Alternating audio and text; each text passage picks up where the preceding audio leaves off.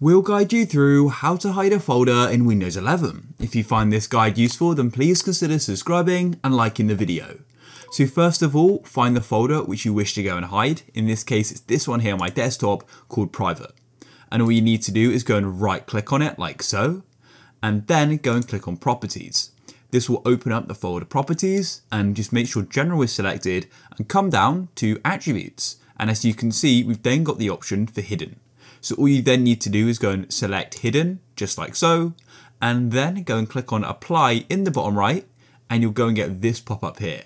So it says, do you want to go and apply this change to this folder only, or do you want to apply it to all subfolders and files as well? So I want to do it for everything. So I'll then press OK, like so. Close off everything, and as you can see, it's now hidden. And now you're probably wondering, how can you go and find it?